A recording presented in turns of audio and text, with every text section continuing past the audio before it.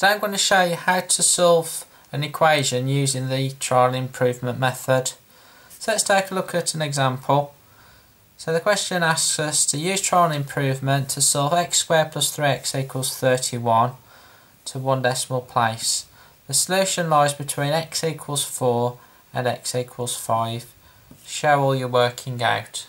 So trial improvement is a bit like a guessing method. So you substitute your numbers into your equation and we're looking for a value of x which takes us as close as we can to 31. So the best thing to do first of all is draw yourself a little table.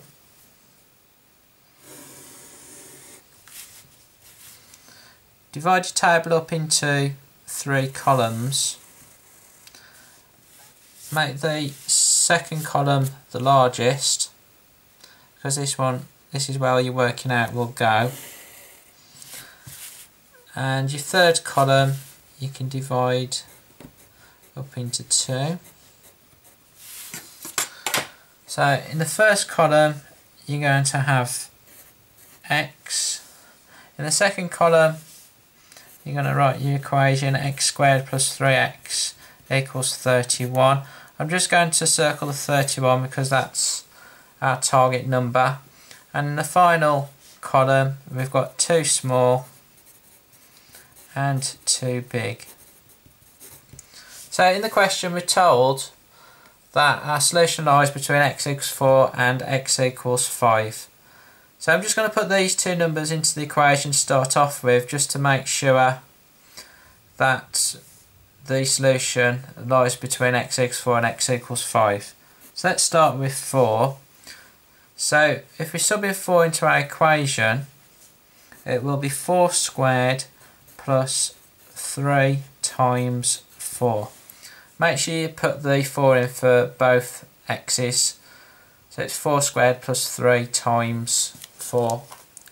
Because 3x means 3 times x. So if you get your calculator and type this one in, so the first one gives us 28.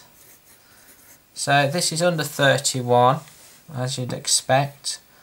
So we tick too small. So let's go with x equals 5 next.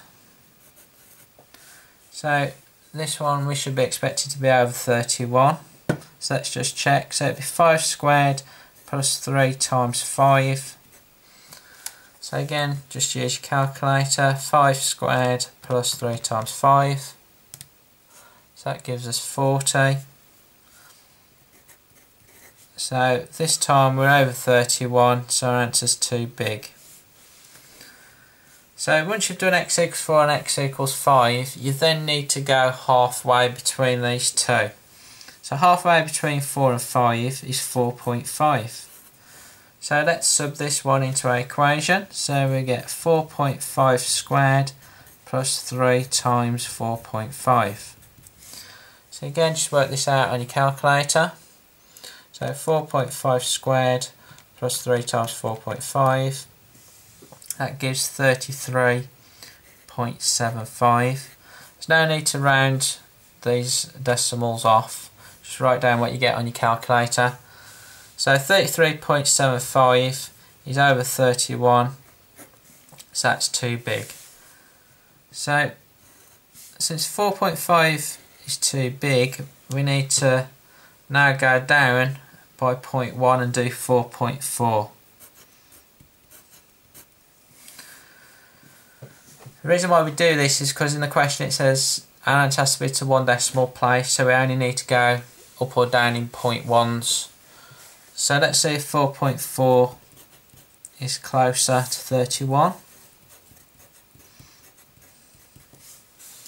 So 4.4 squared plus 3 times 4.4. So that is 32.56. So again, this is too big. So we need to decrease by 0.1 again. So let's go with 4.3. So we need to keep doing this until we get one either side of 31. So 4.3 squared plus 3 times 4.3. So that gives us 31.39. So again, this is too big. So let's drop it down by 0.1 again and do 4.2. So 4.2 squared plus 3 times 4.2 that gives 30.24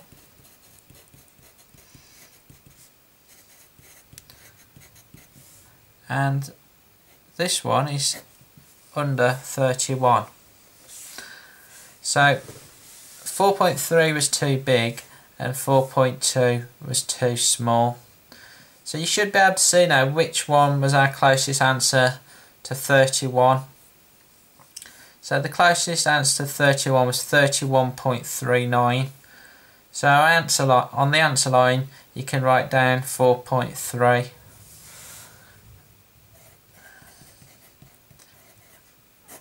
However, on some exam papers um, you will lose a mark because there's one final step you need to show.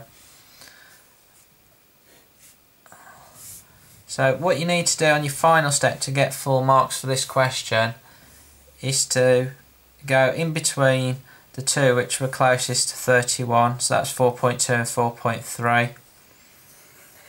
So we have to go halfway between these two numbers and show 4.25. Whatever you do though, don't write this down as your final answer.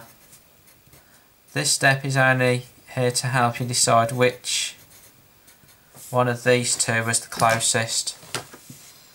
So let's just do 4.25.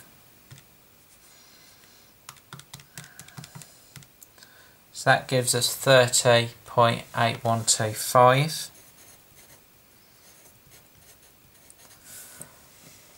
So the reason why this helps us decide which one was the closest out of these two is because we are looking to get 31. Now 31 lies between this number and this number. It doesn't lie between 30.8125 and 30.24. So therefore that's why the 4.3 was the closest. So if you want to get full marks on your exam you need to show this last step. Thanks for watching.